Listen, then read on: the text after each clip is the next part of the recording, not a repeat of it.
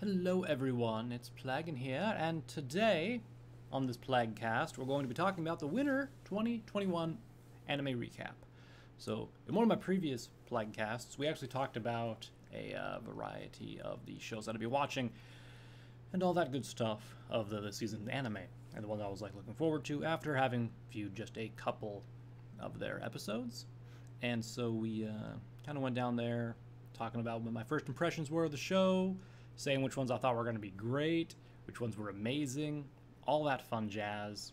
And, uh, well, some of my predictions were on, some of them were off, and uh, that's what we're going to be doing this time. So, I am going to be talking about the ones that I didn't talk about uh, previously as well, uh, namely the ones that had to deal with. Uh, um, like the longer running runs. Like I had mentioned Log Horizon, but I didn't talk about it too much. And I mentioned like Attack on Titan and stuff like that, and I didn't men- I didn't really talk about those too much in the previous video because they were like sensational. Like, of course you guys are going to be watching this, right? You know, and so uh, I just kind of ignored those. But in this one, since they've actually gone through their season, I figured I will go ahead and talk about those a little more. So, as my usual way of doing things, Everything's mostly unscripted. I do have just some notes written down on uh, the, the shows just to jog my memory. Uh, it's very simple stuff like dropped was quite boring or uh, like meh it's interesting? Shrug? That's the that's basically the notes that I have on it. Um, but yeah I figured I would go ahead and go through some of this. So some of the some of the shows are still going some of them have a full like 24 episodes. Some of them the season just ended and there's another season for it. Some of them have ended, um, and all that kind of stuff. So I'm actually curious how some will go because some of them left on like good cliffhangers, and I'm hopefully hoping some of them get seasons uh, soon, like second seasons and all that good stuff. So I'm gonna look one thing up while I kind of just ramble here, and. Uh, because there was one thing I was curious about about if one ended or not, and it did. Okay, gotcha. So we'll get on to that in a moment. So first of all, welcome, welcome. We'll be talking about the season's anime, as I said before. I'm kind of just rambling. I don't script these. Sorry. Uh, anyway, we're gonna start out with the worst, in my opinion, and go all the way to the best. And the best will surprise you. Uh, if you watched my last one, I think I, I don't remember the exact uh, ones that I did. I think I might have either not mentioned this one at all, or I mentioned it and I was like, meh. But uh, regardless, it, it was definitely a surprise for me. The one that I thought was the best this season. Uh, so get ready, because here we go. So before we jump in and I show you like the thumbnails of all the the different ones that I uh, liked here in my little uh, my little blackboard in the back that currently says Plagcast Anime 2021 Anime Recap. I'm gonna be throwing up thumbnails from the shows uh, up there, or just like thumbnails representing the show. Essentially, nothing too fancy, as you know.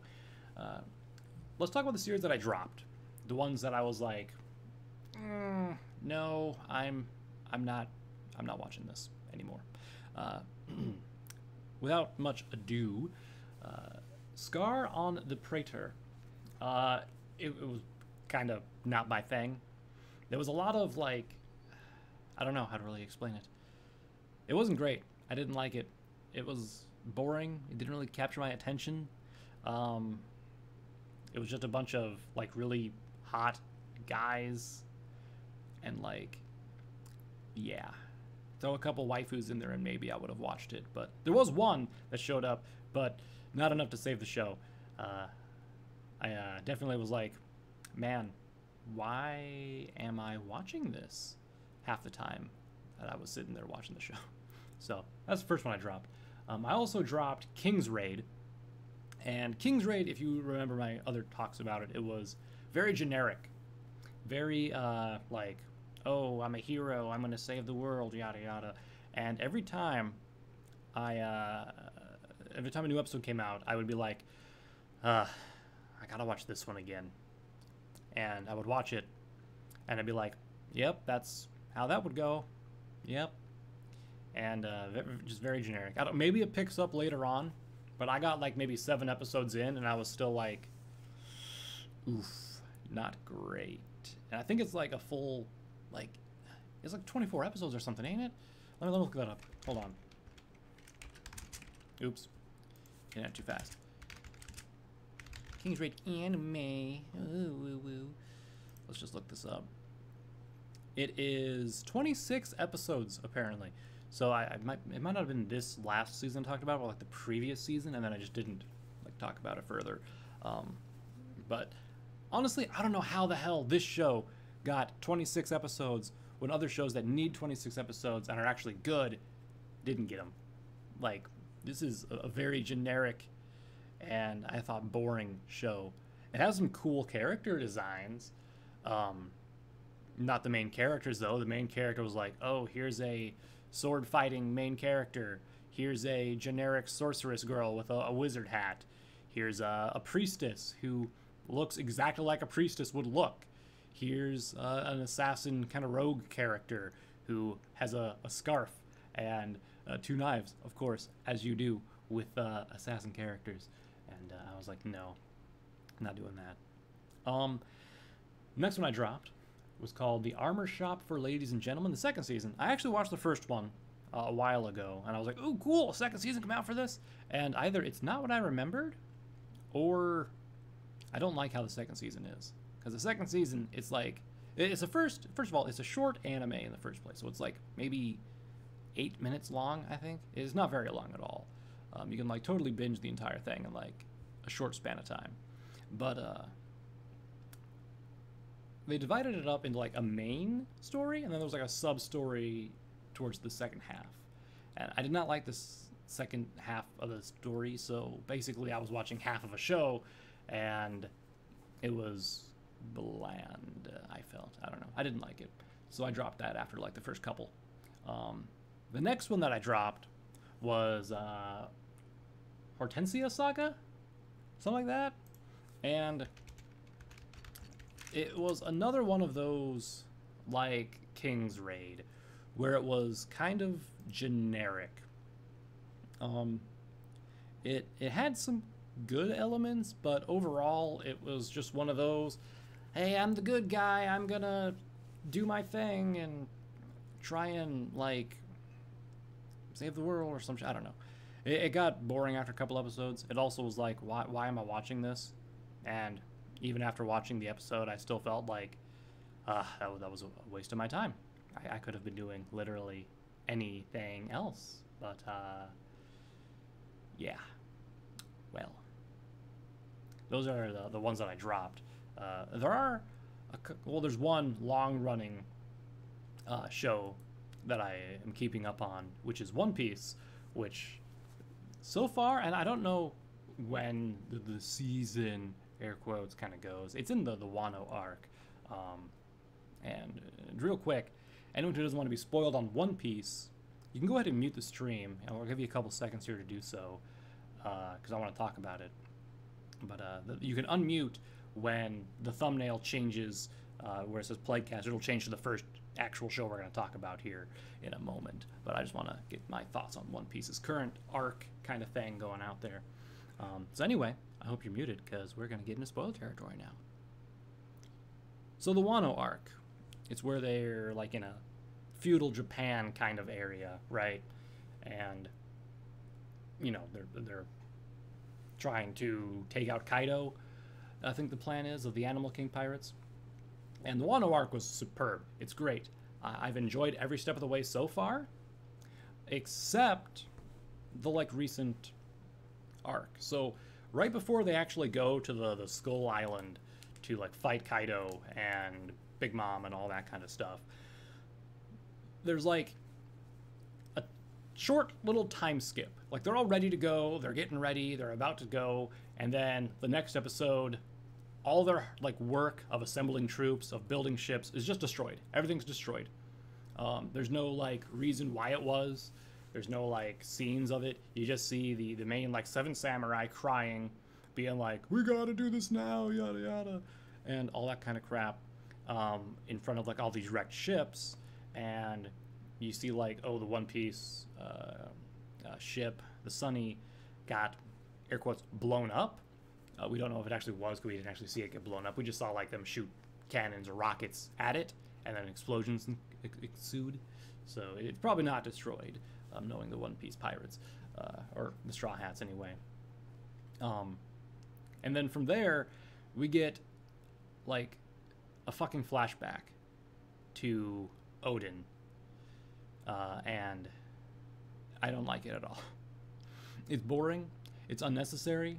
I don't care about what happened like decades in the past in the world's history.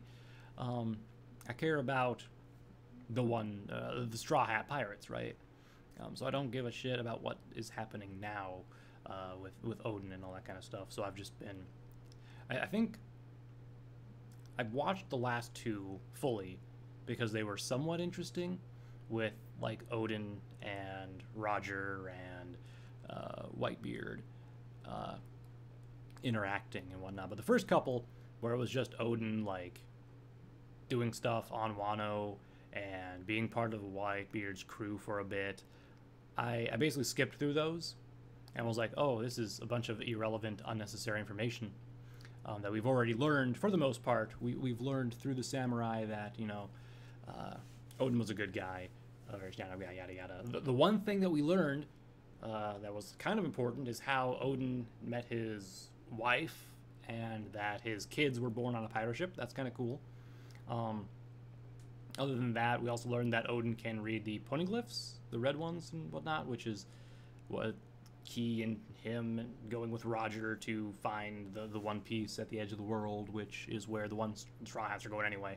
Um, which really all that the, the last couple episodes has been is just Gold Roger and his crew with Oden now uh, following in the one, well, not really following in their footsteps, but it's following the path that uh, the Straw Hats did already and finding the poneglyphs, basically. It, it's unnecessary. It feels like it's just wasting time at this point. That's my thoughts on it, um, essentially. But yeah.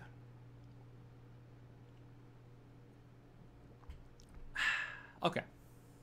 So, let's go ahead and let's just discuss the, the, the, season of anime that I actually watched and uh, cared about. So let's. okay.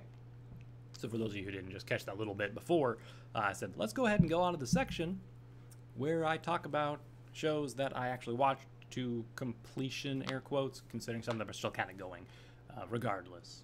Um, so I have 18 shows right now that I watched this season um, that I'm going to be talking about. And this one is the lowest of those 18 shows.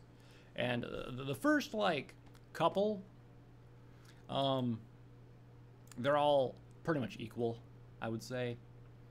Um, but but this season had a few shows that it was it was like the other ones I mentioned that I dropped, where I was like, oh, I have to watch this show now. But unlike the other ones, these shows that are on the list still, they actually drew my attention to make me be like, okay, I'll watch it again next week, right?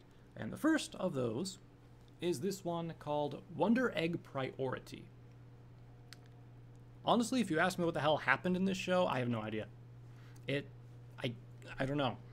It's kind of crazy, but uh, basically, the overall like thing was was pretty meh.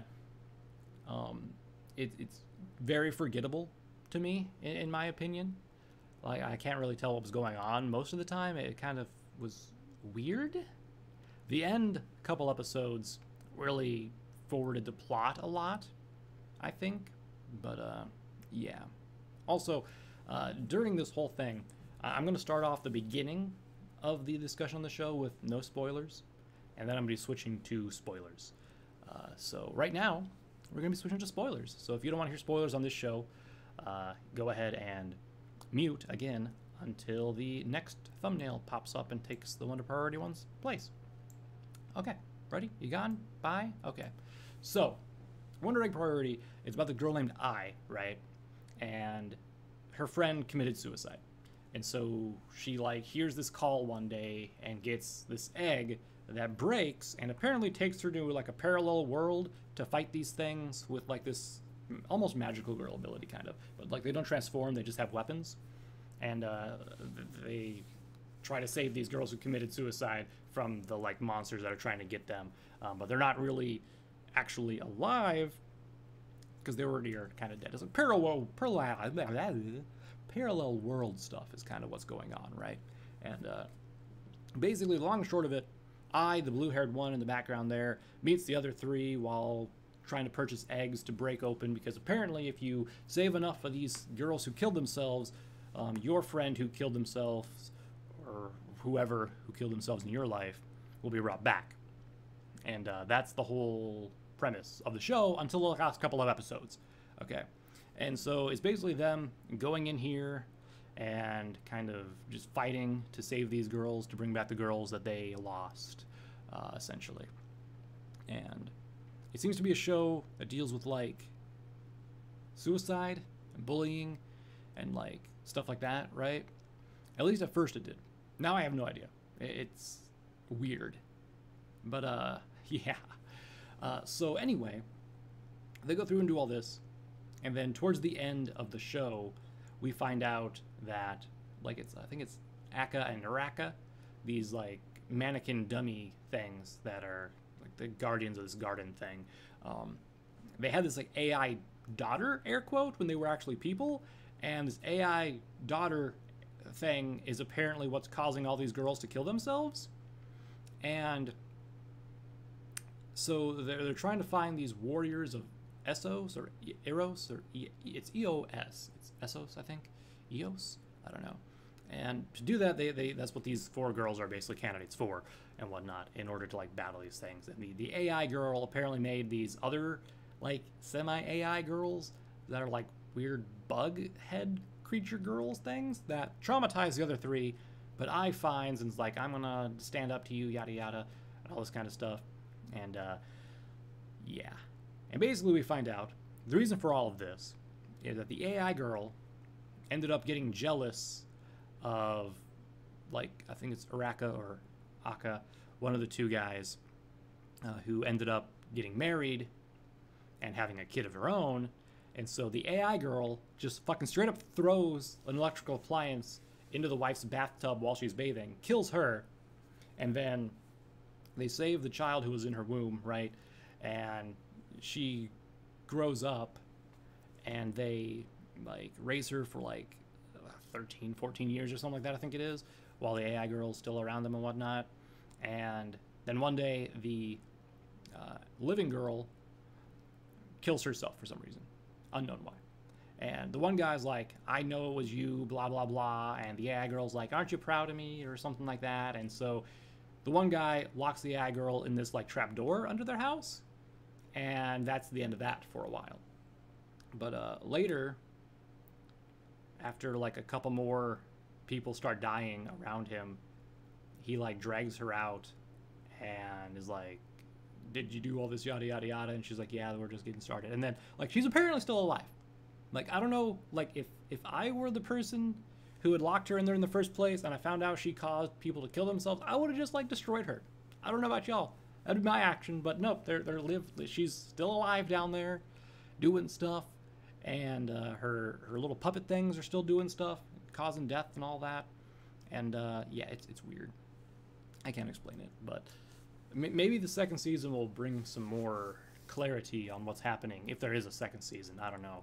Uh, it ended, and uh, it was kind of weird the way it did. So that's why it's the last one. Moving on to the next one. This is, and I'll wait for people to unmute for a couple seconds. Okay. This is suppose a kid from the last dungeon boonies moved to a starter town.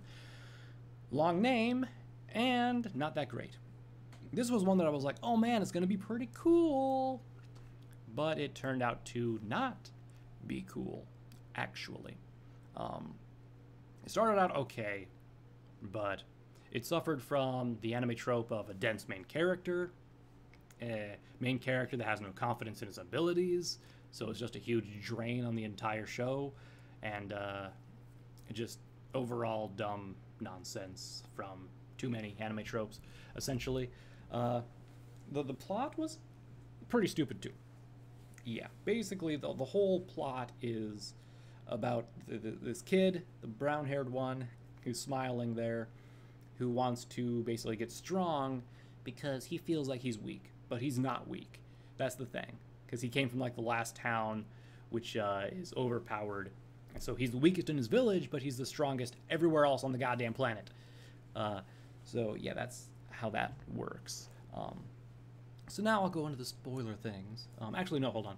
It uh, it was average. It wasn't great. wasn't bad, but it was just average. Uh, it kind of had the harem elements, and the, the MC was really dense, which turned me off to it uh, a little bit. But I watched it all. Um, so going into spoiler mode, I don't have much to say about it. Uh, basically, it turns out that the uh, main character's like not biological brother, but like love you, bro, bro, kind of older person uh, is trying to make him like a hero or some shit. And there's also this bad guy who used to be a hero thousands of years ago, who was created by the elder of this village, who like want, needed a hero for something, and he's like, I want to die, so I gotta make myself the bad guy, so I can't be a hero, and I can fulfill my purpose. And it's stupid. The plot is stupid. It'd be better if it was just a slice of life and there wasn't any plot. If it was just these characters running around doing random shit. Uh, that, that's my takeaway on it. But overall, not very memorable. Um, definitely gonna forget about this one in a couple weeks as new stuff comes out. Uh, not even that great of waifus in it, to be honest. Um, I don't even remember their names. Nope. I, I don't remember any of their names. So uh, that's that's how memorable these characters are. Yep. Moving on. Up next, we have Dr. Ramune, the mysterious disease specialist.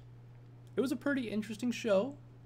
It uh, it was a cute little fun show, but all in all, it didn't stand out much. It was basically a time filler. Uh, it's a it's about the doctor who specializes in curing mysterious diseases like uh, um, pot sticker earlobes or uh, like chili fingernails or stuff like that. Weird stuff, right? Just just weird stuff. Um, and basically, it's about him and his assistant, the uh, very sour-looking boy on the right there, uh, helping people and that kind of stuff. It, it's a very slice of lifey kind of thing like that uh, with some mysterious sci-fi. Well, not really sci-fi. It's more like mystical kind of stuff, right? Uh, but it's kind of like that. I don't really have anything spoilerish to say about it. Uh, just that, I mean, it, it, didn't stand out. It's definitely going to be a forgettable thing. It was a nice little kind of gaggish anime, I suppose. I don't, I don't know if we'd call it gag anime. It wasn't really a comedy. It was more, it was bland, really bland, I think. Um, so that's my takeaway from that one. So we're just going to skip the spoiler section and go to the next one, which is the hidden dungeon only I can enter. Ooh la la. So I was hoping this one was going to be good because uh, I like the medieval, like, fantasy setting thing, right? And uh, it was it showed promise, but it quickly, quickly just devolved into a harem anime. Yeah. Like, not even like a, a good harem anime. Like, we're talking a full on, like, ecchi harem anime. Uh, yeah. So, it was okay. I really like the concept of the kids' magic and how you could, like, just create anything and, like, do anything, basically, as long as you had enough, like, air quotes, LP or life points to afford it. And you could get your life points up by, you know, basically, uh, um, engaging in life's pleasures like uh, eating or drinking or being lazy or, well, in this case of the show, getting sexual with the girls or, well, more precise, like seeing their panties or having them press their boobs against you or um, getting kisses, that kind of stuff. Uh, all, all that jazz. Uh, yeah, I don't know. I liked it, but I wish it was less haremy and more serious and actually had a decent plot. Because the plot was just thrown out the window a couple episodes in. The, the, the, main the main plot that it seemed like was the character was like, oh, I want to get stronger, and so I'm going to become, I'm going to go to this school. He gets into school, and then they never show like any classes past like the first episode. Like nothing happens. And it's like, he doesn't even need to be there or anything. Um, and then he also joins the Adventurers Guild, which you're thinking, okay, so he's gonna like start hunting monsters and like doing crazy stuff like that, and it's gonna be okay, cool. Uh, no, he doesn't. He goes on a couple quests and does a couple of things, and then it's like, okay, back to the slice of life harem stuff, and so, yeah, and then he ends up like being like, okay, I'm gonna, I'm gonna, I'm gonna open a shop, and I'm gonna fill it with stuff that I get from this hidden dungeon only I can enter, and uh, that's what I'm gonna do, and I'm gonna run with my family and all this other stuff, and uh, that that's all. That's literally the, the, plot. It's all over the place, and like the last thing is like, oh, I'm gonna free my master from this dungeon. Uh, yeah, that that's all, and none of that's really spoilerish because I don't know. It's uh, man, I had high hopes, but it's gonna be ranking on the fourth lowest rung of the season's anime that I completed. Uh, it did have some cute characters though. Um, drawing a blank on most of their names. Uh, I think the pink-haired elf girl's name was Alice, or like Alicia, or something like that. Started with an A, had some L's, and like I's in it. I remember that much. Other ones, I don't really remember much of their names anyway. Uh, not to say they weren't cute, but it was just a generic harem thing, so I didn't really care too much. Moving on to the next one. Other Side Picnic. Yeah, I, uh, oof, this one was a little weird. So this was another one that was like, man, I, I gotta watch this show now. Oh, man, I thought a different show was this day. Boo and then you watch it and you're like, okay, this is fucking great. I love this, right? Uh, so it was weird, but it was good. But every time I thought about it, I was like, meh. But then, you know, as I said, every time I watched it, I was like, yo, this is sweet. But it was also very confusing and also very forgettable. Uh, I think the blonde haired girl name is Teriko or Tiriko, something like that maybe, or maybe it started with a K. I don't know. Uh, I don't remember the other girl's name. Maybe it starts with an S, like Sak, Sa, Sak, Sakiko. No, I don't know. But as you can see, I, I do not remember any of the girls' names. Uh, basically, the story they go uh, they basically go to like another dimension kind of thing it's like a parallel world and they explore it uh, the blonde haired girl is looking for her friend or like master kind of thing. And the, the black haired gal, she just kind of gets dragged along and they end up becoming friends and exploring this area. And uh, that's the long and short of it.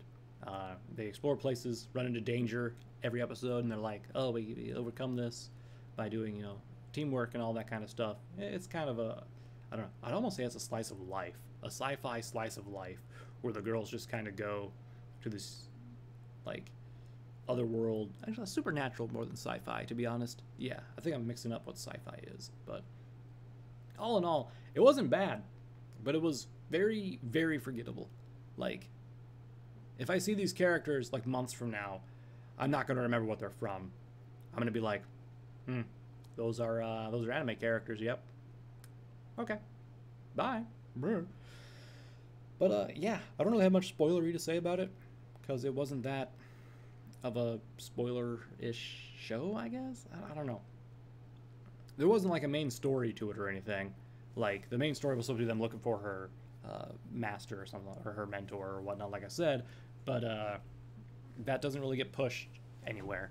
So if you're looking for something that has a satisfying story, this ain't it, Chief. If you're looking for something that's kind of cool and you want to waste some time on, this one's definitely good. Okay, well, moving on to our next episode, another kind of weird one. Um, so this one is Kemono Jihen, and it was interesting, but kind of weird, and it gets a little fucked up around the middle. Yeah.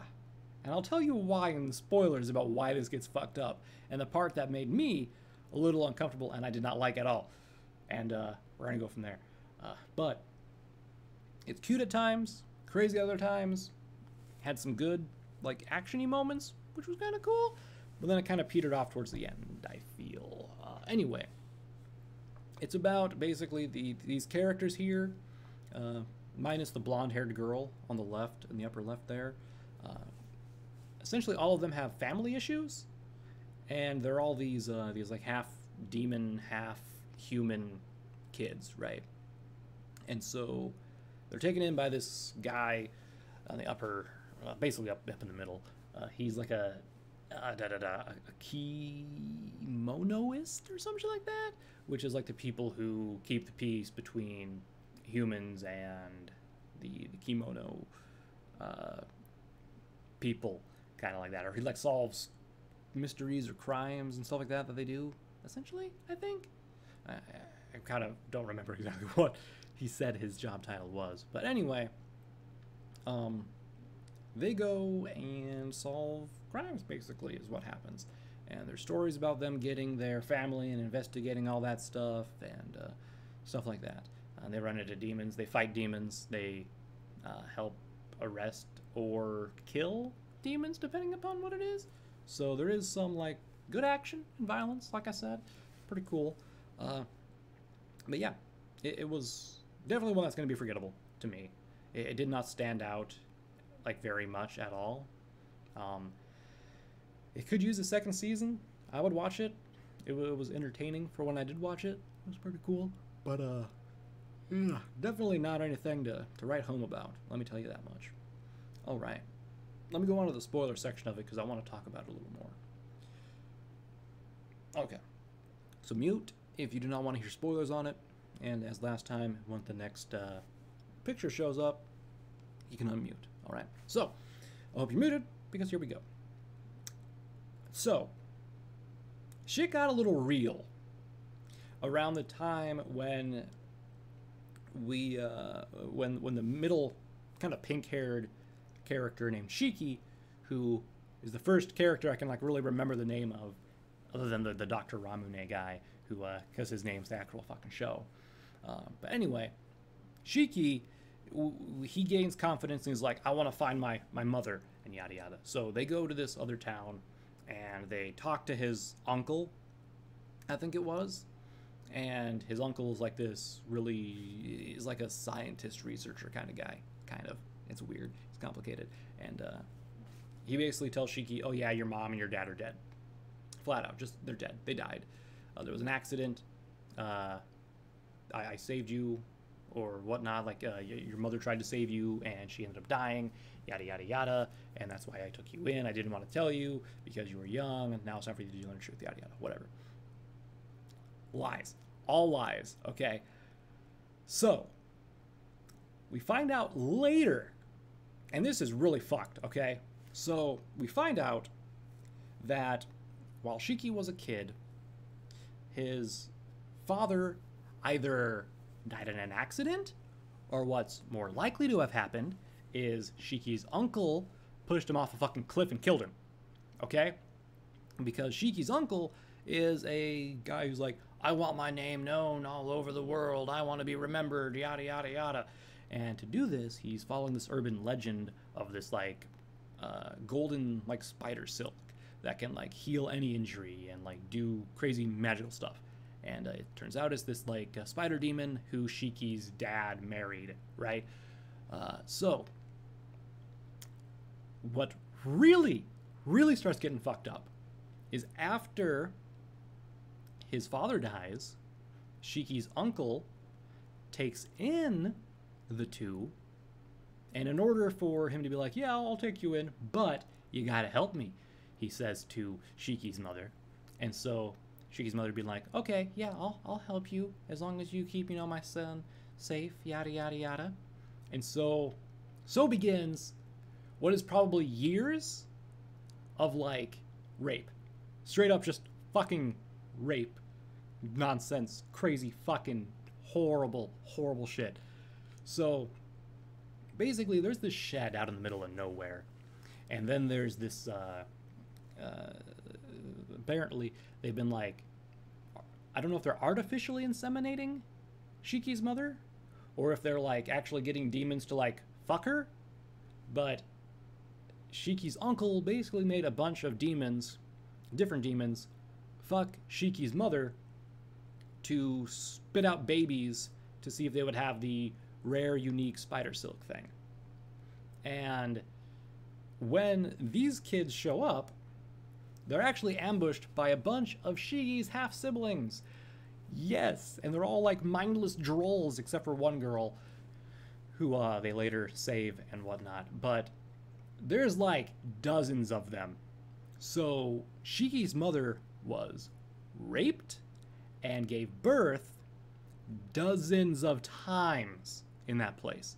And Shiki was traumatized by this. He he followed his mother one day to the shack, saw her getting just fucking raped, I'm guessing. And then he like his, his uncle came behind him and smashed him in the head with a rock, knocked him out, and took him home. And then his uh, uncle was like, "Oh yeah, you, you, you were attacked, and I, I, saved you, yada yada. You saw something pretty fucked up, and you, your mother died. Yep." And so then Shiki's uncle just locked Shiki's mother up in that fucking shack and continued to just have things rape her to uh, spit out babies. Really fucked up. Uh, so at that point, I was like, bruh, bruh. And we didn't get a conclusion until next week, so I was pissed for like a week. I was like, how are you gonna fucking do this? You motherfuckers. Um, and the good thing is, the guy dies. Shiki's uncle dies. He gets fucking incinerated. All of his work goes up in smoke. It's perfect. And the, the, another good thing is Shiki's mother's not actually dead. She was just like tied up at the bottom of a lake by uh, Shiki's half sister, who was actually an intelligent uh, one that was kind of spit out. Uh-huh. And she, her, his sister, is the golden silk wielding one, and uh, they kind of go from there. Uh, really, really fucked up. Like really fucked up. Like, ah, I do not like that. That's not okay. Like before that, it was like, oh yeah, you know, like my uh, my, my I was attacked by things, or I was like, or, or they're sucking like things brains out because they're mosquito demon things, uh, and then it just goes like, okay, yeah, straight up rape, like hundreds of times, just just rape this woman and make her have kids a bunch, you know, like what, what, right? Um, the rest of the story is pretty much uneventful. Uh, the the white haired kid on the right, uh, he's looking for his brother. His brother shows up. He's like possessed by the soul stone. They beat him up. The story ends there. That's uh, that's how that goes, and that's where uh, the season ends. So you don't even get the the satisfaction of the main character, the black haired guy with the blue eyes. You don't even, or not the blue eyes, the red eyes, finding his parents or anything yet. So uh, yeah. Anyway, moving on from the rapiness Welcome back, everyone. Damn, you really missed nothing good in that discussion. I just want you to know that. Well, welcome to Log Horizon, baby. All right, Log Horizon. I loved this show, and it was an okay season. But, but, and let me say but again. But. Okay? The beginning is boring as hell in this series, of this uh, season. This season was boring as hell. It was just politics. And for as much as they hyped it up about the destruction of the round table, uh, it's blah. Like the first, I think, 10 episodes was rather boring if I'm remembering correctly, for uh, where things ended.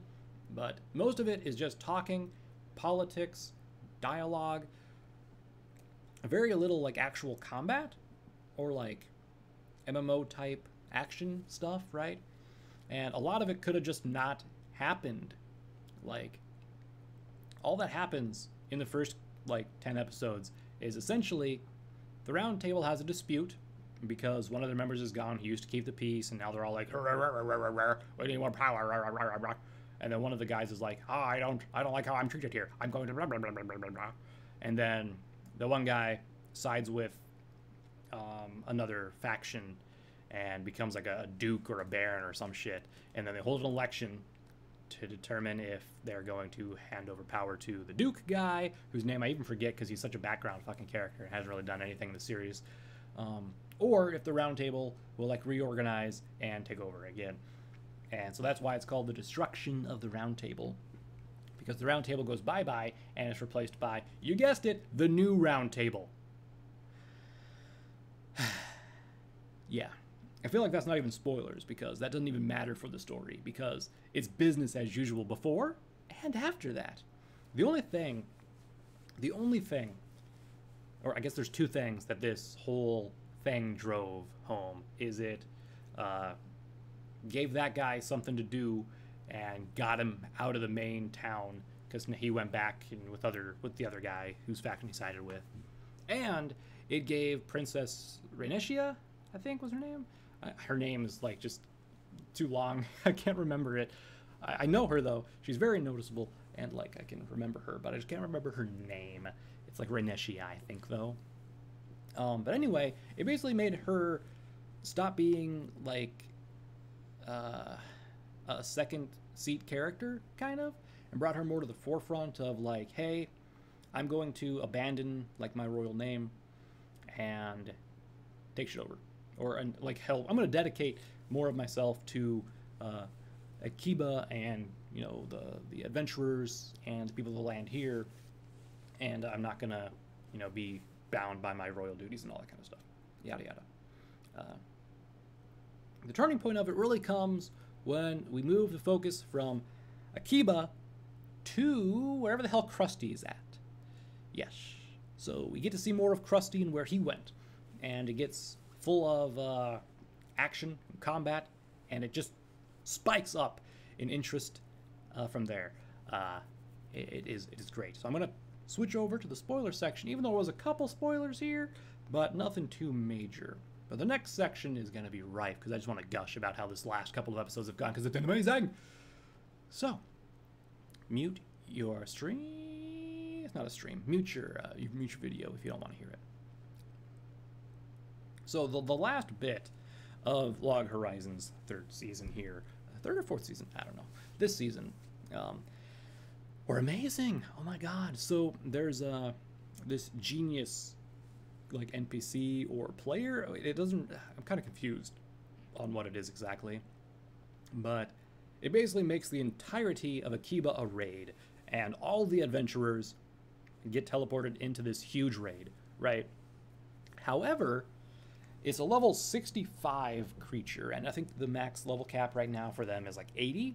So what happens is all the overpowered, strong characters like Shiro and uh, Akatsuki, well, not Akatsuki, um, the other ones, everyone else who's like a high level OP have much, much raid experience under the belt, they all get their levels reduced to like 45. So they're just getting shit on by like trash mobs, right? And they die. They just die. And they go to, uh, after you die, you apparently resurrect into real world Akiba, which is like a, a non instance Akiba one.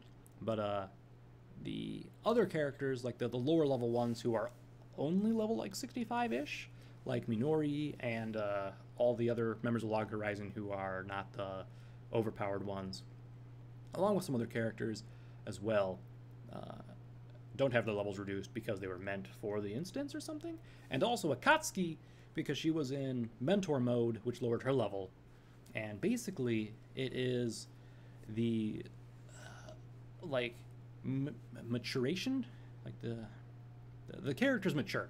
Is what I'm trying to say. Of a number of characters, and namely Minori, uh, the the little like the plain little priestess girl who follows around Shiro because he uh, she likes her, she she likes him, that, and uh, another a number of other the minor characters as well. Uh, so basically, they go in and do a raid. They fight against the, the genius and they win. And they break the instance and everyone's levels return back to normal and all that good stuff. Um, it's a really, really great battle and like how the stuff was done. I liked it. It was great. That's all I wanted to say. It was cool. I liked it. Definitely check it out.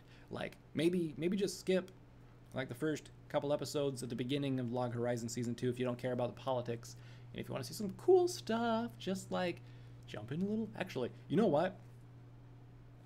You could literally skip the first like part of this season of Log Horizon and you would not miss out on anything important in the second half. Like nothing ties in from the first half to like the second half. As soon as you get like the the Krusty backstory of where he's been this whole time, nothing from that point forward is affected by anything that happened past. So it's like, okay, uh, it's kind of great. Uh, but yeah, so with that in mind, let's go on to the next one. Okay. Next up, ladies and gentlemen, we have Dr. Stone's second season. Now, this one was pretty decent, pretty good. That's why it's um, number eight uh, from the bottom tier going up. It's what is it? It would be tenth then? Is my tenth favorite of this one? I think question mark. Yeah, I don't know. Anyway, uh, basically it's the same thing you love from the previous Doctor Stone, but now they're doing the the whole battle thing, or well, they're working towards the battle still a little bit.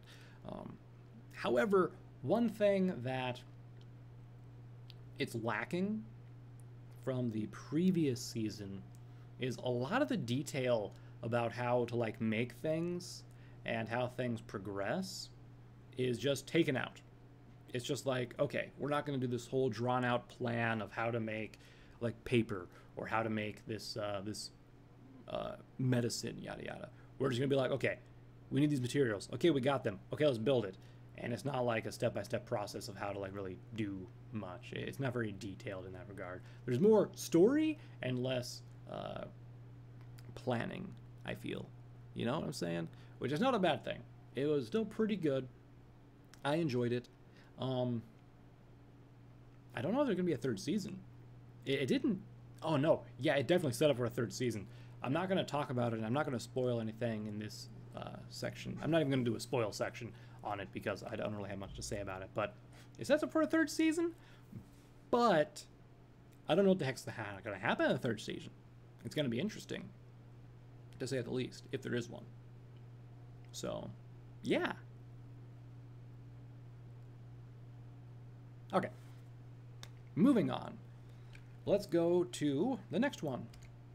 Bottom tier character Tomozaki. This one was actually pretty decent. It, uh, my, my note says literally pretty decent underneath it. Uh, it was kind of interesting. Uh, there were some drama elements near the end that got kind of aggravating to me, in my opinion. Uh, nothing too major, but it is just like a, a romance comedy kind of show. I, I don't. I would say it's barely romance.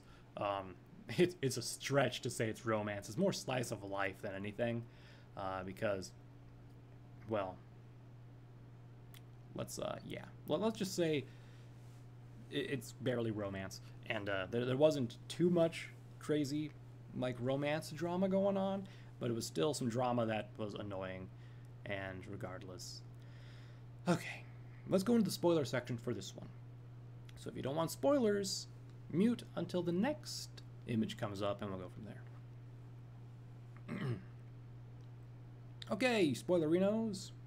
So, when I say it's not romance, I mean basically the romance in this show boils down to two side characters getting pushed together and Tomozaki basically getting pushed to this girl who he doesn't really have any interest in at first and it's still up in the air as of the ending of whether or not he does actually like her or if it's still just like, hey, you're a cool person, let's hang out. Um, and it's also not clear if he likes the uh, the main girl either.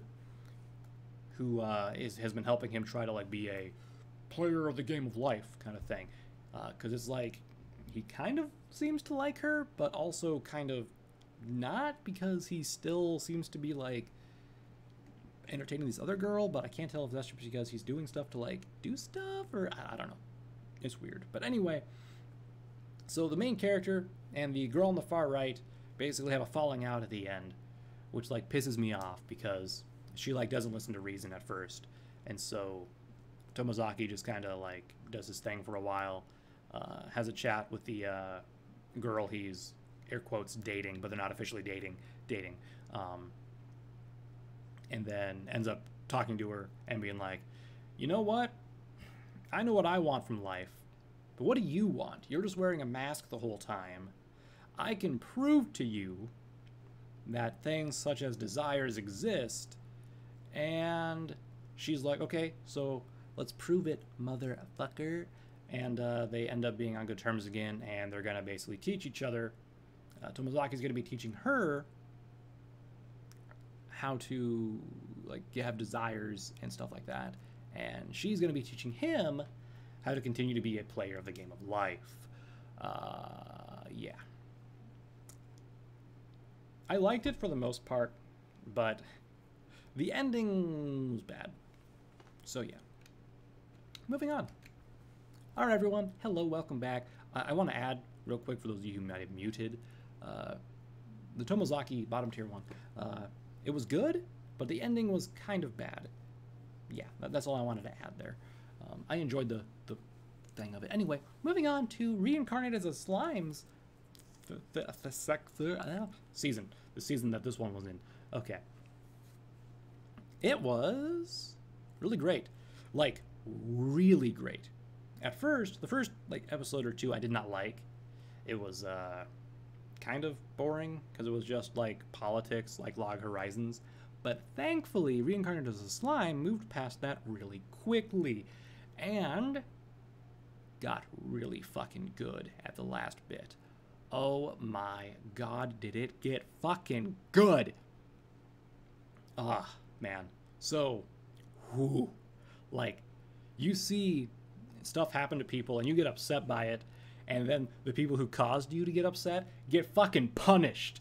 It is so satisfying. I love it.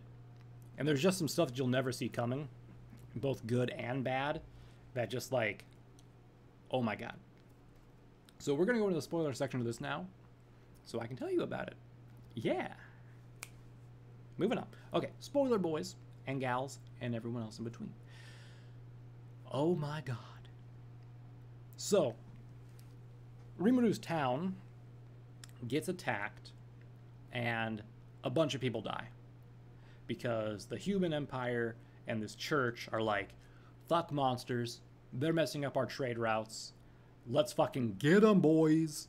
And so they set up barrier within a barrier and basically trap and weaken all the monsters inside. Meanwhile, Rimuru's away. He's coming back from his teacher duties and he gets ambushed by a like holy paladin cleric gal who uh, also traps him in a barrier to weaken him. But he still goes like pretty much toe to toe and uh, managed to managed to get out of it alive uh, with him, with her thinking he's dead. Uh, so he goes back finds his city uh, having been damaged and partially destroyed, and a number of his friends and villagers dead, um, including Shion, who uh, is basically his secretary, the uh, the Oni demon with huge fucking tits that uh, always hang out of her shirt. Um, and so he's mad. He is fucking mad, right? And he, he's about to fucking lose his mind and kick some people's asses. And some stuff's revealed, and yada, yada, yada, yada, yada. And basically, he ends up being like, okay, everyone, so I used to be a human in my past life, and I've always thought of myself as human. However, seeing what these humans did, I don't think I can be anymore. I'm out. I'm actually a fucking monster, and opinions. What do we want to do about humans? Do we want to continue to try and coexist with them? Do we want to fucking murder them all? What do we want to do? And so there's some back and forth, yada, yada, yada. And they're basically going to do business as usual, but be a little more cautious, right? Because Rimuru had this rule of uh, don't harm humans, but now he's like, let's just throw that one away. Uh, you can do what you need to if you have to, you know, protect yourselves and all that kind of good stuff. Um, so, someone brings up a rumor about how to revive dead people, and apparently, you have to become a demon lord in order to have the power to do this. And to become a demon lord, you have to murder thousands of humans. Thousands. Like, I think it's like 10,000 or 20,000 or something. It's a bunch. And so Rimuru's like, all right, let's do it. I'm gonna I'm gonna become a fucking demon lord. I'm gonna get revenge on the people who died here, and then uh, I'm gonna become a demon lord and revive them. You know. And so the motherfucker does it. Oh my god. So he sets it up to have his underlings who are still able to fight uh, exit the barrier and attack the uh, the people who are keeping them in and weakening them. And so they destroy those camps while Rimuru heads to the giant army of like, I think it's like 30,000 uh, humans who are coming to attack and wipe out the city, including the king of the uh, kingdom that attacked him. So he goes there by himself. The other ones knock out the crystals, destroy the barrier, but uh, um, not Shion, it's uh, the the pink-haired Oni girl who I don't remember the name of because she doesn't get mentioned much. Um, I thought her name started with Y. Is it is it Yuki or Yui or something? I, I don't forget. I'm sorry. Um, she's a cutie though. Uh, anyway, she and another gal who shows up, um, who turns out to be a, uh, a magi or something like that, they put up their own barrier to keep the souls of the dead inside, or at least that's what they're planning on, thinking, and trying to do. Um, so after the barrier goes down, Rimuru is out there, over the camp of the the like thirty thousand soldiers, just flying overhead. He puts on his mask. He creates an anti-magic barrier around the entire camp, just like they did to him and his uh, city. And then he gets revenge he uses this badass ability that basically sends out like slime bolts from way up high, like instantly and like very fast to other little slime orbs that are near the ground and basically just starts like piercing people's heads. Like they just instantly die, like dead, dead, dead, dead, dead, dead, dead. Like in a matter of seconds, he's killed thousands, right? And meanwhile, the uh, the sage or whatever his head voice thing is that keeps giving him the total. It's like 2,000 have died, like 5,000 have died, 10,000 have died, etc., etc. Then, next episode, because they, of course they had to end it on a cliffhanger before he gets all the kills. Um, he keeps killing everyone. Everyone in the camp dies, like everyone. I think he killed like all 30,000 of them, and he kills two main people, like this uh, captain of the guard who was like, I'm gonna launch an offensive. I will rally the troops and we'll make human shields and go. And then he's like, he walks out of the tent and then boop, right through the head. It's hilarious. And then uh, the other guy, the magi guy, or the magic guy, who's like, I'm a superior sorcerer, ha ha ha ha, also gets shot through the head. But he apparently lived somehow, which pisses me off. Although he's a prisoner now, which is good. Um, so anyway, so Rimuru finds the king and like the the archbishop or whatever who's with him of the church, and is like, all your people are dead. Um, I want to take you hostage, or I'm going to take you for like reasons uh, that uh, weren't really disclosed or whatever. Um, and they're like begging and pleading and yada yada yada.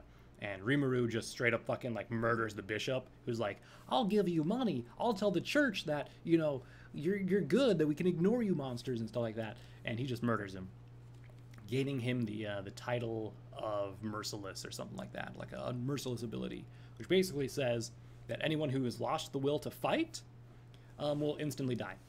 that's that's how that goes. Um, oh, I'm sorry. No, there were still some people left alive, um, before he got the merciless talent. But when he got it, he used it and killed everyone else, except for the king. And uh, no, no, I think he kept the king and bishop alive. He killed someone else to get merciless. I think. I'm sorry, I'm misremembering exactly because it was just so hype, and I was like, oh my god, it's Pog. But anyway, so after killing that many people, he gets the rights to evolve into a demon lord.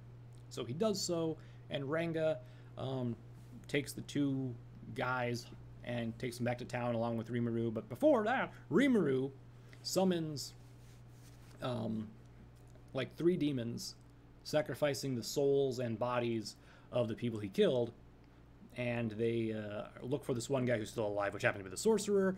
And they really quickly capture him after like basically just slapping him around a bunch. It's hilarious. And then uh, Rimuru gets back to town, and he ends up like evolving and passing out for uh, a little bit. And then once he becomes a demon, he's like insanely powerful, like a total mood shift of how shit goes.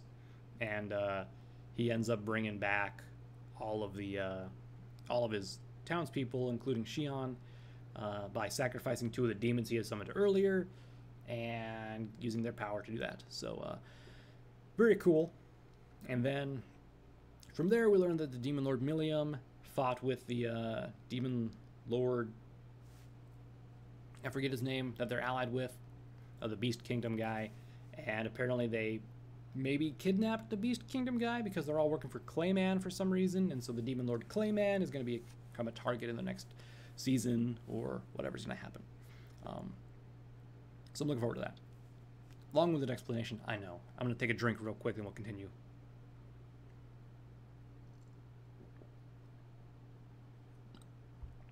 Ah. Okay. All in all, great. Moving on. Uh, okay. So, hello everyone. Welcome, welcome back. Reincarnated as a Slime, great show. Great show. Ending was beautiful, and I look forward to more. But, now we're talking about ReZero, the uh, third season, or whatever the hell we're on at this point. So, the first couple of loops of Subaru dying in this one are really repetitive. Um, it's it started off pretty meh, but it actually got really, really good at times. Uh, there were some that were still kind of like meh, really. We got a lot more backstory and stuff happening. A lot of character development for uh, like Beatrice, for uh, for Subaru himself, as always, just getting a lot. Um, Otto and Gar got a lot of development. Ram got a little bit of development, but barely any because, of course, no one cares about the flat chested girls unless they're completely flat chested like Beatrice, because that's just how the, the world works. So Ram is forever just in a purgatory of underdeveloped character because no one like gives a shit. Like it felt like what they did with Ram was like an afterthought. Like, oh, we haven't done anything with Ram's character yet. Let's just let's just do this, this completely batshit thing that makes no sense whatsoever, and uh, we'll we'll do that. So that's that's what ended up happening there. But basically, the entire season takes place in the sanctuary, where uh, Emilia has to go through the trials, and Subaru has to try and protect both the manor and the sanctuary so that they don't get destroyed and completely murdered. Um, yeah, that, that's pretty much how it went.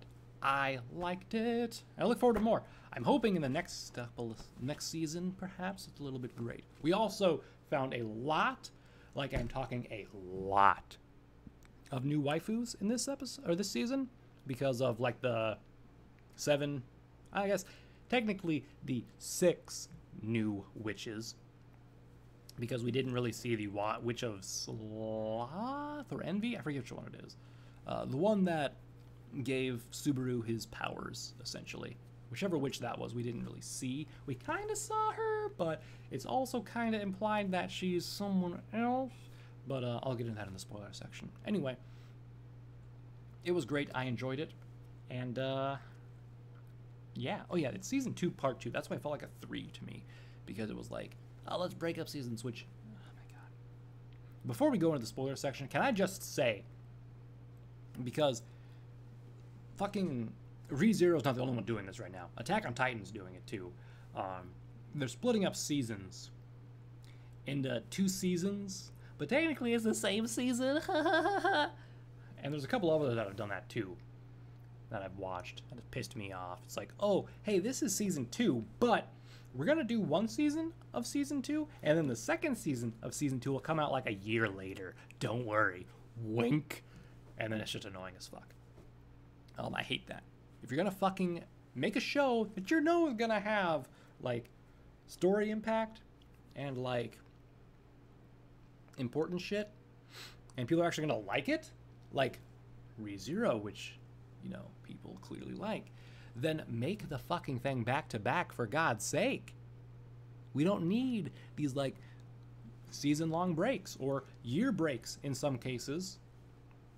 Meanwhile, you have shitty shows like fucking like fucking King's Raid getting a fucking full season, right? All back to back. No breaks in between that fucking 26 episode bullshit. Okay, rant over. Moving on to the spoiler section. So mute your streams, do what you need, or mute your, your video, all that good jazz. Because we are getting into the long and short of it. All right. Sorry, I looked away for a second and my, uh, my tracking went off. anyway, so spoilers for this one.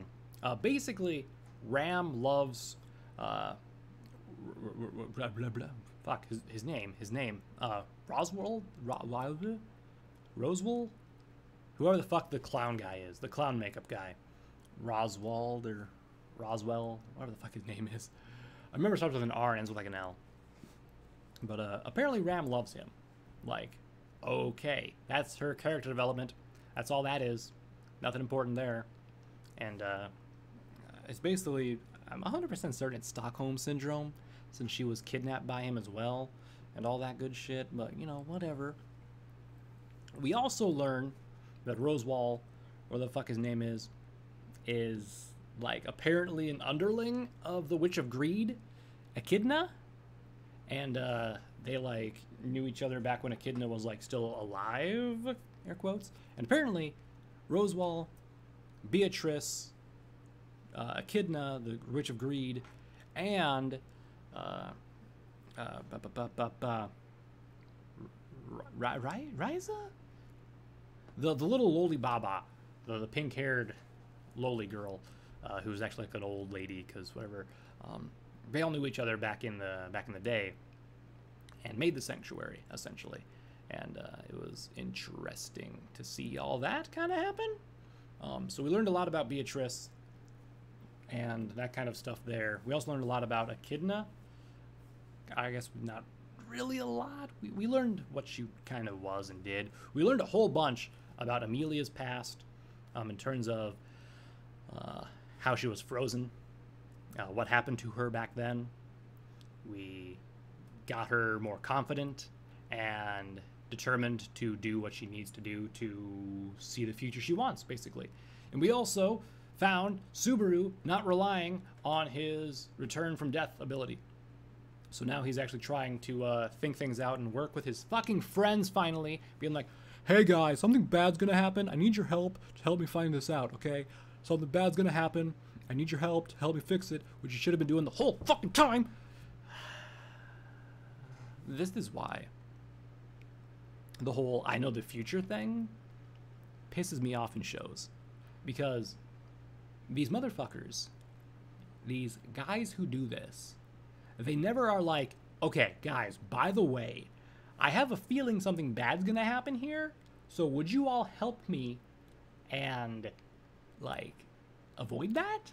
Instead, they're like, I will do this all by myself. Yeah. I will try and change the outcome myself without relying on anyone.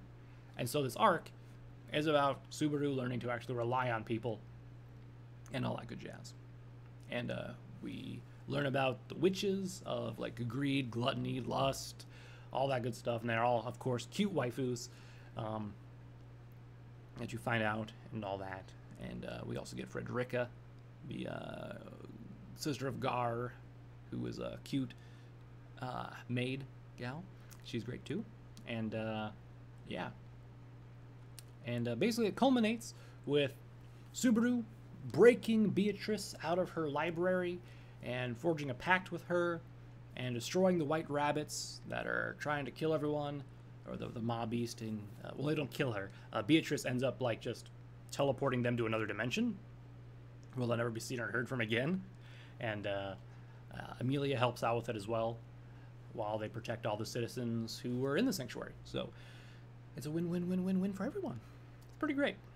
I, uh, I liked how it turned out.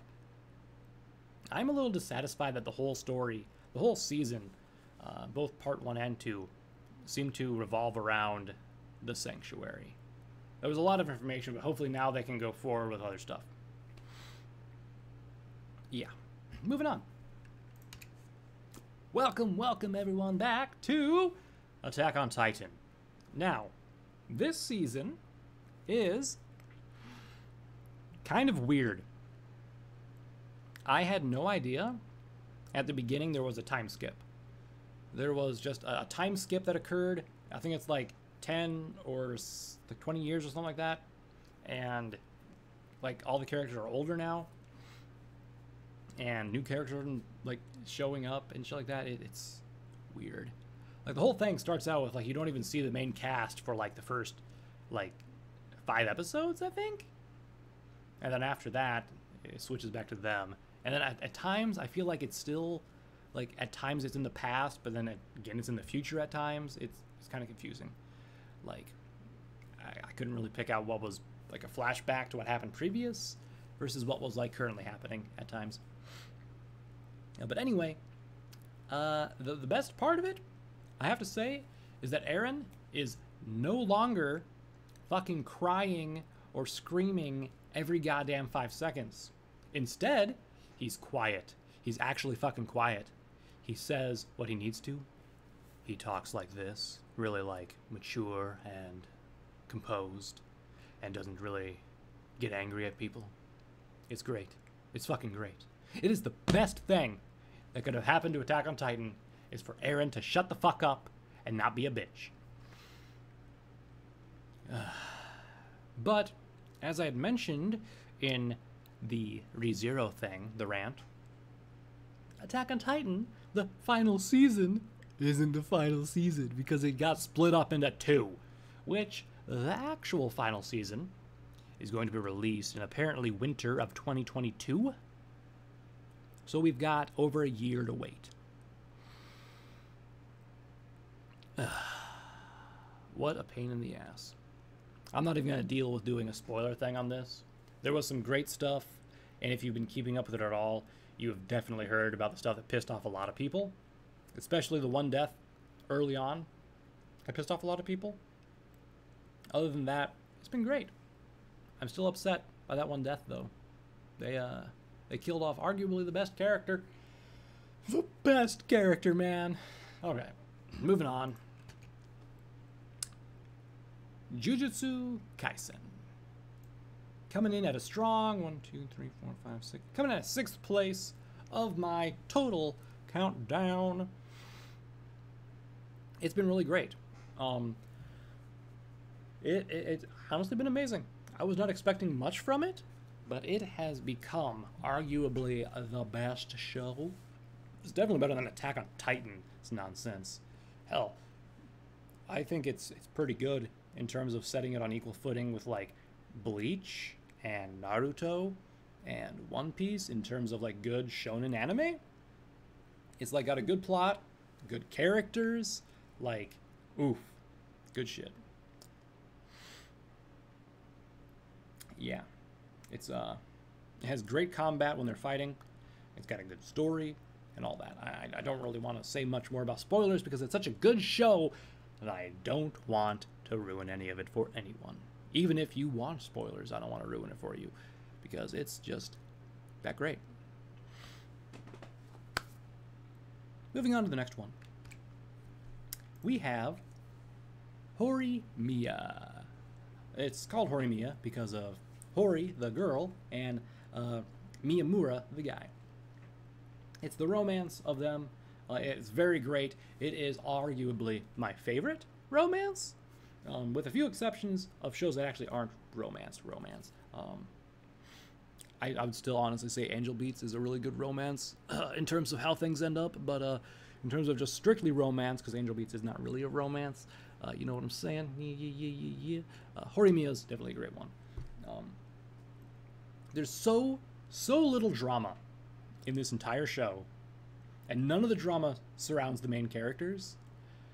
It is such a weight off my shoulders to not have to deal with drama between the main characters, and like they end up together right away. Like within like the first three episodes, they're like, okay, let's date. It's great. it is great. So essentially, it's just a slice of life between like a, a couple, a high school couple, but it's great. It is. It is so cute, almost painfully cute, I would say, because they're just adorable together. And I, I absolutely loved it. it it's one of the few, like anime, that I own the manga to. Like, I don't have the complete manga, but I have some of it uh, because I kind of stopped reading things in real life, like physical pages, because I hate paper. Uh, so I stopped. I didn't buy the rest of them, but I have like the first like five manga, I think. And uh, I loved it. So when I saw this one come out, and I didn't realize it, and I was like, wait, what? Is that no Horimiya? Yeah, boy. So I uh, definitely watched it, definitely loved it, and uh, man, if there weren't so if there weren't four other great shows in front of this one. This one would have been my favorite. Uh, in terms of genre, though, because there's like three uh, that are coming up that are all kind of the same genre, the uh, the fantasy, uh, medieval kind of, you know, stuff like that. But uh, in terms of genre, this one is definitely number one in romance. Uh, it's great. So I just want to I want to talk about I want to talk about a little bit of spoilery stuff. So if you want to not hear that, mute now, please, because oh my god, I just want to gush over the show for a little bit longer, okay? Okay. Welcome to Spoiler Chat, boys. So, Horimiya is amazing.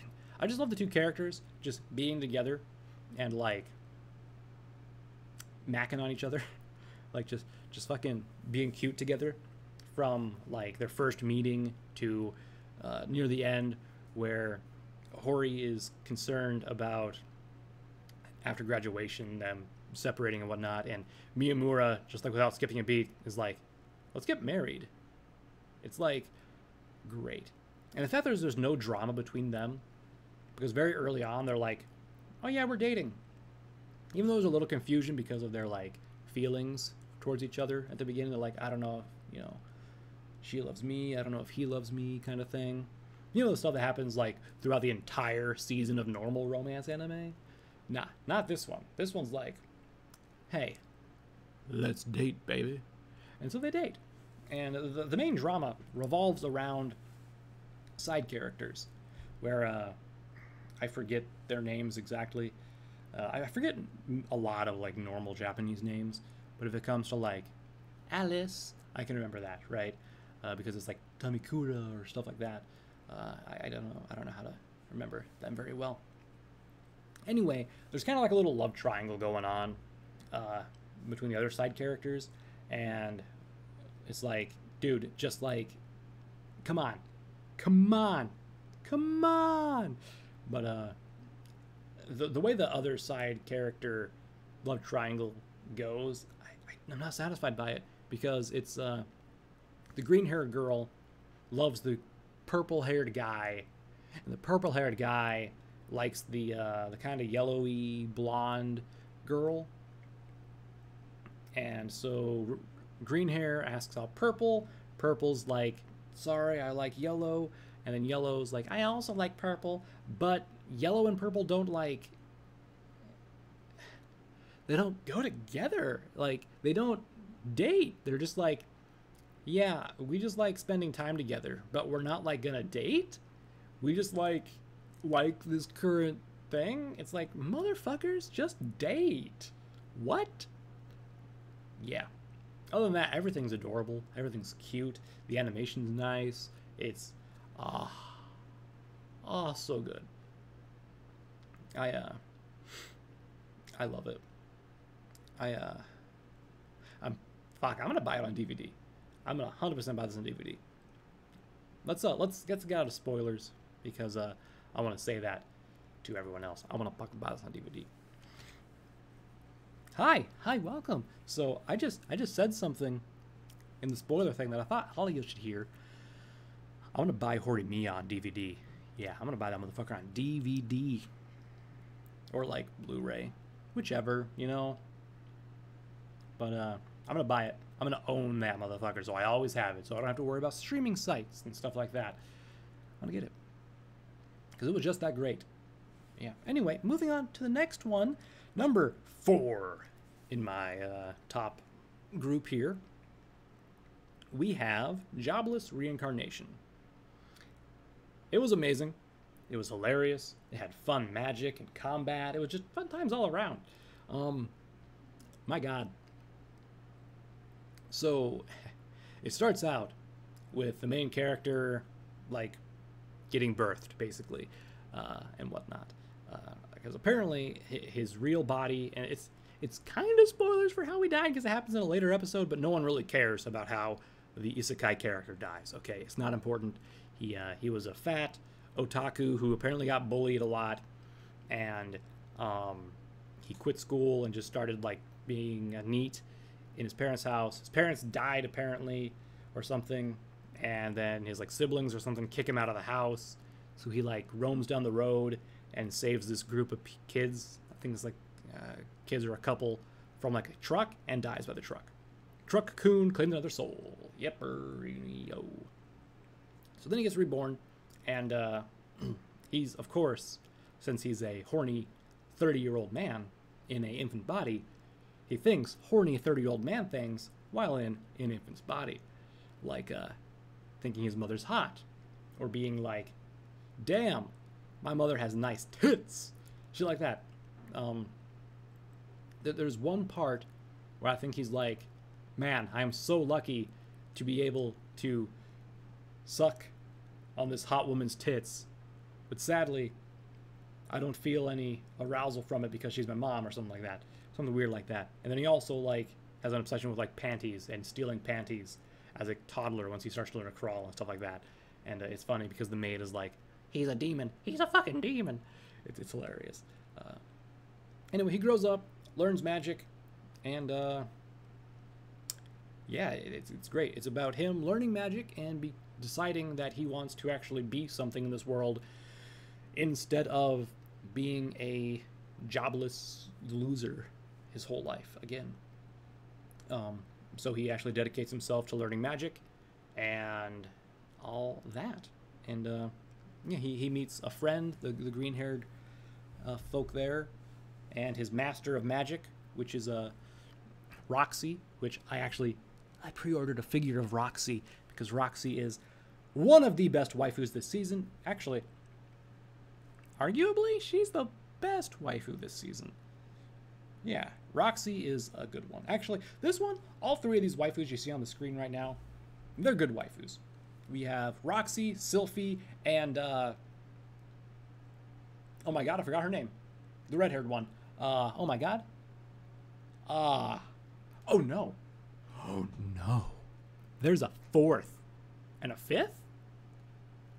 And a sixth and a seventh waifu? this show is just plumb full of good looking women. Um, from his mother to their maid to the three girls you see on the screen there. And then there's the red haired girl's mother, who is a total MILF. Not to mention all the cat or all the animal person maids that the red haired girl's family has. And also this like animal warrior lady who's like a very strong, very hot, has fucking abs, like woman who is like hot as fuck. I think her name's like it starts with a G. It's like Grizz Grizzline or something like that. I can't, can't pronounce it properly. Uh, but great waifus in this season. This is probably the number one anime for good waifus this season. Throwing it out there right now. Yep. In terms of personality and and looks, uh, definitely that one. There is some other ones that have some good, cute waifus, but their personalities aren't that great. And the anime they're from aren't probably the best that you want to associate with if you're like, I like waifus. But yeah, um, it has great combat, great magic casting, a great story uh, that you you know kind of get, and I really really cannot wait until the next season comes out. If they make a next season, this show needs one. If King's Raid can get a fucking second season or get two seasons worth of episodes, this one, this one has to get another episode, another season. Come on, come on, give me it. I need it. Anyway, I don't want to talk about spoilers on this one because I like it so much. Moving on to the next one. It's the one, the only redo of Healer. This was one of the most hyped anime for me this season. And that's why it is number four, because it lived up to its expectations, but it did not surpass expectations. In fact, it fell a little, little short of expectations. So I don't. I guess it didn't actually meet them. But it was good. I enjoyed it. Oh yeah. There's gonna be people out there who are like, "Oh wow, you like redo of Healer? What the fuck is wrong with you? Didn't you see all the crazy shit? The main character's a piece of crap. Yada yada yada. Wow, cancel this anime." It's definitely not getting a second season. I can tell you that much. Unless there's a CEO of some anime company out there that's like, yes, yes, make a second season. I want more. Because I would definitely do that if I were an anime CEO who was like, hey, hook this show up another season. Yeah. Because everyone in it is a piece of shit, with few exceptions. Oh my god, the main character gets betrayed in his first life because he's a healer, and the other heroes treat him like shit. The kingdom treats him like shit. Everyone treats him like shit. He is like fucking raped. He is beaten. He is just drugged. Like the whole whole first episode covers this stuff. Like it covers the first like life that he lived. And basically at the end of his first life, he snaps out of it. He gets resistant to the drugs. He learns that his healing abilities are actually fucking amazing because it teaches him everything that the person knew, and he can do crazy stuff with his body and all that kind of stuff. And so, he waits until the heroes are fighting the demon lord and are about to die, and he lets them die. And then he takes the philosopher's stone from the demon lord, having defeated her single handedly, and uses it to turn back time and give himself his memories, essentially.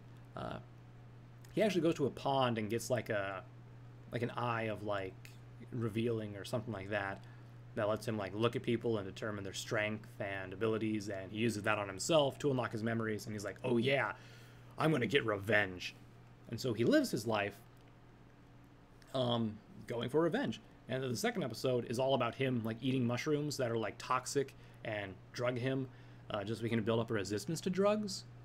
And then, so that way, when he eventually does get drugged by the other heroes, he has more resistance and he can actually fight back and get his revenge.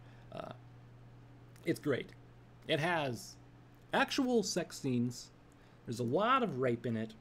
There's um, it's very it's a very crude and like if you're easily triggered or offended by stuff, this is not the show for you. Definitely not. Don't don't watch this show.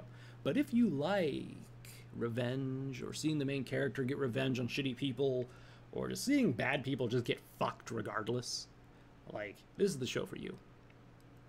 This is the show for you. Now, going to the spoiler section, so go ahead and mute, and I'm going to take a drink while I wait for you to mute, and we'll go on.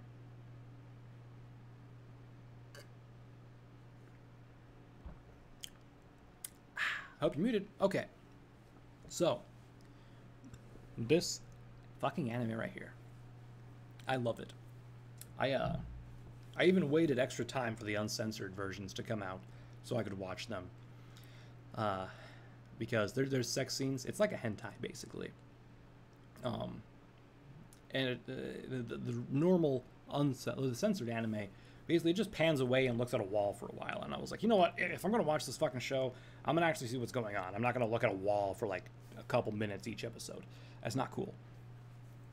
Um, so basically main character gets drugged but he snaps out of it a lot sooner.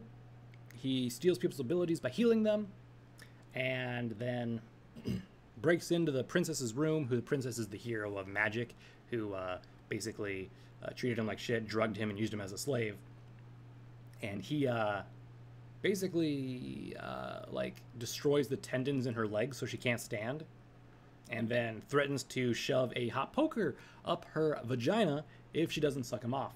And so she sucks him off and uh, then he fucks her and basically leaves a corpse behind to make it seem like she's dead and he overwrites her memories to make her become his ally and changes her face and changes his face so they escape. Um, it's insane.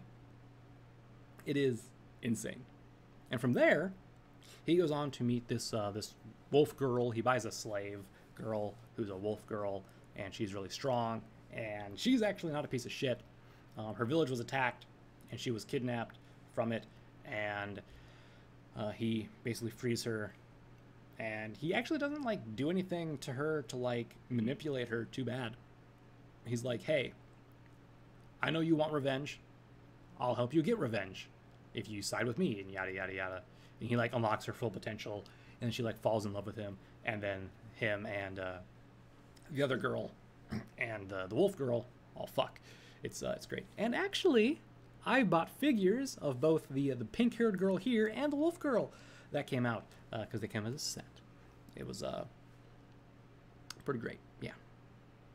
And then after that he gets revenge on the people who are trying to attack the ice wolf village uh, for the, the Ice Wolf girl, whose name I forget. I think it started with an I, like Inca or well, not Inca. It was like I don't remember. The the pink haired girl's name was Freya, though, and the uh, uh, well, her name was Princess Flare officially, but then he changed it to Freya, and uh, all that stuff, and then then they go and basically travel around for a while doing stuff and things. And his entire village gets kidnapped by Princess Norn and used against him to try and lure him out for revenge for Princess Flare. And then he basically kills the whole village. Well, the whole village dies because uh, the people kill them, and he gets revenge because he's really driven by revenge. So he'll let people die just so he can get revenge uh, after they die on the people who killed them. it's it's really fucked up. He's not a good person, but he's such a good person. Ah. Um, so anyway, he goes through some stuff and some things, and then uh, he goes to another town, and he uh, meets the demon lord, and he she she's not the demon lord yet, so he's like he's I'm gonna help you become the demon lord and yada yada yada, because uh, she's actually a nice person. And then Princess Norn shows up, and she's with another one of the heroes who like treated him like shit and like beat the shit out of him. And so he gets revenge on her by basically drugging her and then putting her on like this stage with these men who were also drugged and aphrodisiac. And he gave them two things an aphrodisiac and something that made them like crave flesh because they were like super hungry. And so he was like, hey, I'll let you live if you can survive until morning. So make uh, make yourself useful to these guys sexually, or they'll eat you. And she ends up being eaten alive by these guys uh, because she cannot satisfy them sexually long enough to uh, deal with it. Uh, and her thing was that she really liked women, and she would abduct women and like basically destroy them, like mentally and physically, uh, to have their way with them. So uh, technically, no loss to the world from that. Uh, and then he also captures Princess Norn and makes her his little sister, which I don't know, it's a weird kink. I would have just made her someone else. But uh, the weird thing is, with Princess Fre- Flare, he made her eyes colors different. But with Princess Norn, He left everything the same. He was just like, hey, your name's different now. And he changed her memories. Uh, so it still looks exactly like Princess Norn, which is hilarious to me. But uh, yeah, interesting. Like her hair color is the same and everything. He didn't even like change her facial structure or anything. It's literally just Princess Norn, but uh, she's obsessed with him. And then the final uh, episode, um, him, Princess Norn, uh, Princess Flare, uh, the Wolf Girl, and then this uh, Night Girl that he also recruited, all have an orgy uh, on on the bed, and uh, the demon, uh, the future demon lord girl, she just uh, like masturbates outside the door because she's not like that uh, assertive to be like, yeah, I want in on this right now. ah, shit. Okay. I liked it. It was great. I hope there's a second season, but there's not going to be. It's going to be sad. I'm sad. Moving on. Welcome, ladies and gentlemen, to number two. Ah, baby. Number two. Man.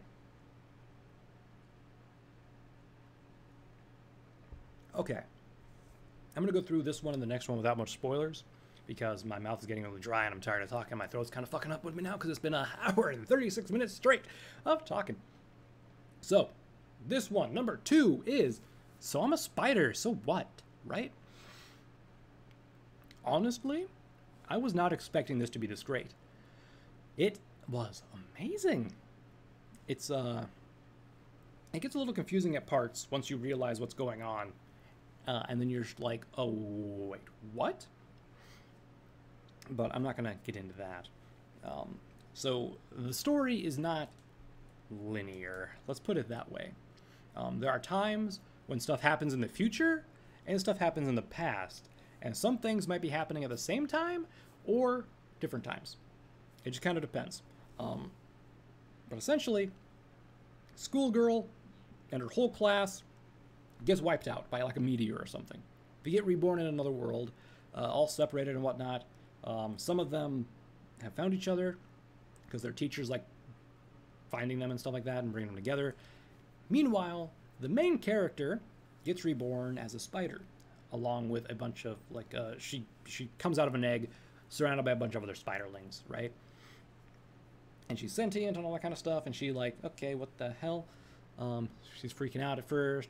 She runs into this huge, like insectoid, like probably the mother or father, who skewers a bunch of her siblings and eats them. So she freaks out and runs away. And uh, from then, it's like survival. She goes around um, finding things to eat, leveling up, becoming stronger, and overall, becoming a badass. My God. And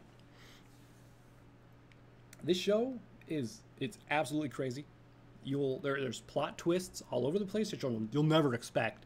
Like, I was like, oh, maybe the uh, maybe the main character is gonna find her friends and you know stuff's gonna be you know kind of different and stuff like that. But no, like my mind just it, it's great for like the ingenuity of the main character, for the plot twists, for the animation, the combat, the like, uh, everything that's why this is number two. Arguably, number one, to be honest. This season, number one. And it's not even done yet. Apparently, another episode's coming out next week, and it's a full, like, 24 ish episodes, apparently. It's already got two seasons going for it. So, that is great too. I'm looking forward to it.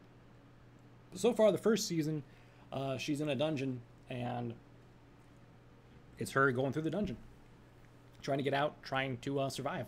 That's uh, pretty much the long and short of it. But it's it's amazing. Definitely recommend it. I was considering buying a uh, uh, a Nendoroid of her spider form with different stuff on it, but I was like, eh, nah, I'm not gonna spend money to buy a spider. Anyway, Oh, speaking of figures, real quick, because I mentioned the spoiler section of Redo of Healer, but not the uh, other one, the normal one. I am buying a figure of uh, Freya or Princess Flare, uh, the pink-haired girl, and also of the Ice Wolf girl that they have later down there. Uh, yeah, I like figures. Okay. number one. Are you ready, ladies and gentlemen? Are you ready for number one?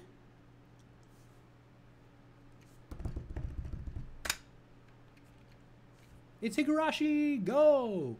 Apparently. Um, so I don't know if I mentioned this or if I even talked about it in the last uh, video I did about anime. Because I, I know at one point I was like, man, they just made a fucking, like, Higurashi remake. That's all they did. They didn't, like, add anything new to it. They just remade it with, like, prettier characters and shit like that. Now, the animation style, it grew on me. It might be a little bit shiny, but when it gets dark, it still gets dark. Okay? Now, the thing you have to remember with Higurashi is there's like three or four seasons that are like really old, right? That go through a lot of different story. And this one, I thought at first, because the first 10 episodes I watched, and I was like, wow, this is literally just the same stuff that's happened in the old one, but it's just like slightly different, right? And so at one point I had dropped it. I was like, I'm not gonna rewatch this show again. I like it, but I'd rather watch the other one that actually has like a bunch of seasons, right? So I let it go. I put it on the back burner and I was like, whatever. I got bored one night and I caught up to it. And around like episode 10, shit gets crazy. Okay? Like, oh my god. New stuff started happening. And I was like, what? What? Wait? What? Uh, huh? No. I've never seen this before. What do you mean? Why is this happening? And then it got better, everyone. It got even fucking better. Like, what? How? Impossible. How are you getting even better? What do you mean? Ah. And so that's why it's number one. Because not only is Higurashi a great show, a nice psychological thriller with like nice mystery thrown in there, and like very nice, memorable characters like Mion, uh, Rena Ryuga, fucking Satoko, fucking Rika, and uh, uh, Maebara Keiichi-kun, the, the main character guy. Well, not the not the main character in this one. I'm sorry to say, motherfuckers. And then there's also uh, Shion, the uh, sister of uh, uh, fucking Mion, as well. Shion and Mion. But uh, I can rem- I can remember all these fucking characters' names. This is how great of a show it is. Okay, this is how great Higurashi is. In the other shows that are like also in my top, I can't remember everyone's name. I uh I can remember like the pink-haired girl in Redo of Healer. Everyone else drawing a blank. Um, I don't remember any names in So I'm a Spider, So What. But then again, the main character's name isn't really like mentioned. I remember Shu is a name of some other character in the show because he was mentioned a lot. Um, Jobless Reincarnation. I remember Roxy because she's cute and she's a waifu. But like past that, I don't remember many names other than Hori Mia and because Horimiya, their names are in the title, so it's easy. Yeah. But these ones, I remember all of them. Like, oh, so good. Like, bruh. Bruh. Like, I cannot even explain to you right now. I cannot. How great this season of Higurashi is. Because it is a new season. It's not like it's an old season, just like retold. No, it's a completely new one. Completely from all the other ones. Completely new. Completely new. For a little while, though, at the beginning, first 10, I was like, okay, whatever. Then it gets good, and then it gets, okay, is this a slice of life now? Then it gets good, then it gets better, then it gets great, and now there's another season coming out. Well, technically the same season, but they're taking a break for a little while, I think, and then it's going to come out which is another one that's like, motherfucker, let the whole thing come out at once, will ya? But, uh, man, man, it, ooh, it has been a fucking ride. Like, never have I gone from like, I hate this motherfucker to, okay, you know what, maybe this guy's not so bad, I'm rooting for them. Or to like, wow, I really love this character. I, I hate that this is happening to her. This is bad. To like, wow, fuck this character in particular. Oh my god, why is she doing this? This makes no sense. What logic is this? Oh no. Like, oh my god. It is amazing. It is amazing. And I will say this because it's kind of important. It's not really a spoiler, okay? Because it's not like a story thing or anything, you know what I'm saying? Sorry, I'm just moving around a lot because I like watching my, my character move anyway. Okay. So, towards the beginning of the show, all the characters are important. They're all relevant and they're all showing up and doing different things. But, towards the, the middle and the end of this season, the important characters switch from everyone to Rika and Sato- uh, Sadoko. Satoko, oh my god. I can't talk right now, my tongue is that. Anyway, from the, the two lowly characters there. And, uh, well, let's just say, I didn't see this coming. Now, if you've if you've played the visual novel, you've probably seen it coming. I don't know if the visual novels had this included or not, or if this is a total like just new story that was written up for this or not. But oh my god, y'all, check it out. Check check check all all of these shows that I've mentioned that I got fan fanboyed about and whatnot. We're just gonna go back to the the normal uh, recap screen here to end, but a lot of these shows were good. A lot of them were not. Uh, I dropped a couple. Others, I was really into. And, uh, man, I'm looking forward to doing another one of these um, in the coming weeks when more of the, the, the spring uh, 2021 anime come out. I've already started watching a couple of them. And so far, I've liked what I've watched. You know, not bad. Not, not, not, not bad at all. Yeah just to kind of give you a list of what I've been watching so far. There's uh, Mars Red, Too Sick to Call This Love, Godzilla Singular Point, uh, Princess of Snow and Blood, Eden's Zero, Full Dive RPG, Tokyo Revengers, Yokai Watch, Shaman King, and uh, it's not actually. Hold on. It's uh, Vivy Fluorite Eyes Song. Actually, kind of think about it. I don't think I actually watched the Yokai Watch one. No, I did not. Wait, this isn't a current season. Oh no, it is. It's just one that started a year ago that I have not actually been watching. I haven't actually watched the Yokai one yet. So I'm gonna see if I like it, and if I don't, I'm not gonna watch it or talk about it, okay? So anyway, I'm looking forward to some that are coming out, because uh, like Demon Lord Retries second season's coming out this one. That's gonna be fucking fun. None of the ones that I really want second seasons for coming out yet, though. Like, um, fucking Overlord's next season, Goblin Slayer's next season, One Punch Man's next season, Drifters, uh, Demon Slayer's next season, fucking Demon Lord Retry is. Uh, there's also like Arta Freta from Commonplace to World's Strongest, whatever that one is.